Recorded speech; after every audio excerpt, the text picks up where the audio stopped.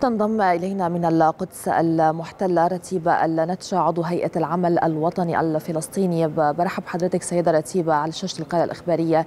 يعني آخر التطورات في القدس ما يزال القصف ربما قصف الاحتلال الإسرائيلي يستهدف عدة بلدات ومدن في الضفة الغربية. هناك انتهاكات من قبل قوات الاحتلال ومنع المصلين من الدخول إلى المسجد الأقصى. كيف يعني تقرأين الوضع الحالي؟ وربما يعني الانتقال من غزة إلى الضفة اليوم التي تشهد الكثير أيضا من القصف والانتهاكات وكيف تعملون في ظل هذا الوضع؟ يعني اولا بداية اترحم على أرواح جميع شهدائنا الذين سقطوا خلال هذا العدوان الإسرائيلي منذ بداية هذا العام سقط أكثر من 200 أو أو أكثر من الشهداء في الضفة الغربية قبل بدء هذه العملية أو هذا العدوان على قطاع غزة. ألحق إليهم 90 آخرون خلال الأسبوعين الماضيين في الضفة الغربية. بمعنى أن سياسات الاحتلال وهذه الحكومة الأكثر يمينية وتطرفا وعلانية في سياساتها اتجاه الفلسطينيين هي تسعى إلى حرب إبادة جماعية على الشعب الفلسطيني بالأخص تستهدف المخيمات مخيمات اللجوء الفلسطيني في استهداف واضح لقضية اللجوء الفلسطيني وحق الفلسطينيين بالعودة وبالتالي هي ترغب في نسف ما يسمى بقضية اللجوء الفلسطيني والمخيمات الفلسطينية. وهذا شهدناه في عدة جولات أو عمليات عسكرية لجيش الاحتلال في مخيم جنين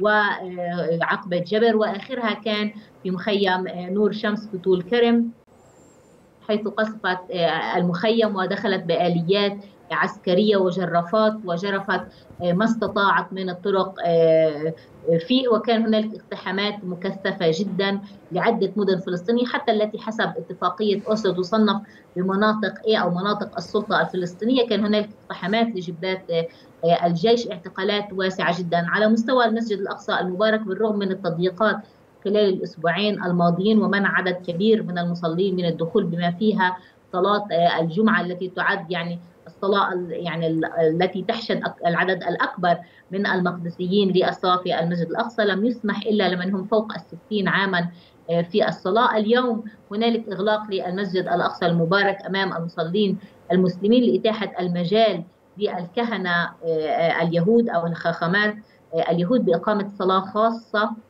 تدعو للنصر لجنود الاحتلال في اقتحامهم البري لقطاع غزة بمعنى أن اليوم المسجد الأقصى سيشهد صلاة لأجل تمهيد اقتحام قطاع غزة بريا. وهذا ما هو الأكثر إيلاما أن يمنع المسلمون أصحاب الحق من الصلاة في مسجدهم الأقصى لصالح مجموعات من المتطرفين. سيقيمون صلاة من أجل المزيد من الضحايا الفلسطينيين في قطاع غزة أنه يعني مشهد مؤلم جدا ومثير للاستفزاز للفلسطينيين. أود تذكير المشاهدين أنه منذ بدء عملية طوفان الأقصى كان هنالك عملية اعتقالات واسعة جدا في صفوف الناشطين المقدسيين اعتقال لأسرى محررين أنهوا محكومياتهم واعتقال عدد كبير من الأطفال من المواطنين حتى الاعتداء على المرابطات والمرابطين من المسنين. وإبعادهم عن المسجد الأقصى المبارك. بمعنى المشهد في الضفة الغربية يعني يعاني ما لا يقل عن ما يعانيه قطاع غزة لربما الوضع الإنساني أو الدمار والإبادة في قطاع غزة أشد نتيجة القصف الجوي ولكن سياسة الاحتلال ثابتة جدا في إنهاء القضية الفلسطينية من جانب واحد من خلال التطهير العرقي والإبادة الجماعية للفلسطينيين. وهذا ترجمة لكل الأفعال التي رأيناها منذ بدء هذا العام وتكثيفا خلال الأسبوعين الماضيين في الضفة الغربية وقطاع غزة. نعم سيدة رتيبة يعني نلحظ بأنه جيش الاحتلال الإسرائيلي ربما فتح جبهة أخرى في الضفة الغربية بالإضافة إلى قطاع غزة. هناك جبهة أيضا مفتوحة في الشمال على الحدود اللبنانية الإسرائيلية. وأيضا يعني اليوم تم قصف مطارين حلب ودمشق في في سوريا. ما الذي يعني تريد قوات الاحتلال من فتح كل هذه الجبهات؟ وهل نتوقع ربما أن يمتد يعني نطاق هذه الحرب الفلسطينية الإسرائيلية ليشمل مناطق أخرى وتكون حرب إقليمية؟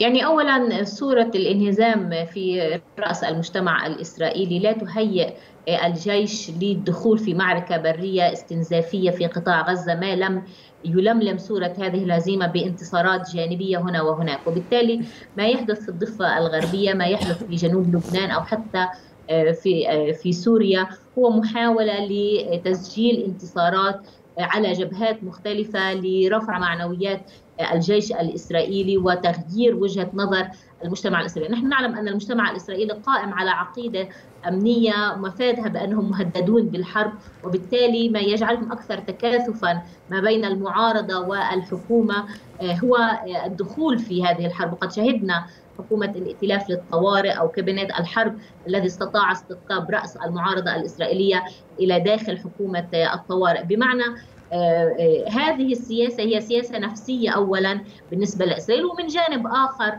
هذه الحكومة كانت قد أعلنت في وقت مبكر من منذ هذا العام ومنذ بدء توليها الحكم بأنها تستعد إلى سيناريو الحرب متعددة الأطراف أو الهجوم المتعدد الأطراف على إسرائيل خاصة بعد معركة سيف القدس في العام الماضي وظهور أكبر لمفهوم وحدة الساحات. بحيث يكون هنالك حرب من عد من ليس فقط من المقاومة الفلسطينية في داخل الأراضي المحتلة وإنما أيضا من مراكز تواجدها في دول الجوار.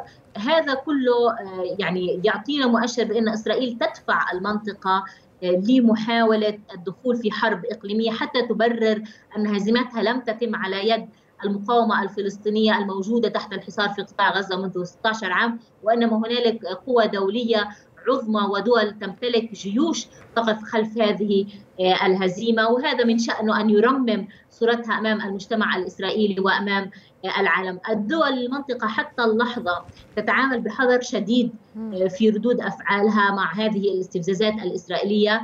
هذه ليست المرة الأولى الذي يقصف فيها مطار مطار دمشق ومطار حلب الدوليين في سوريا وإنما هذه المرة الثانية خلال معركة طوفان الأقصى.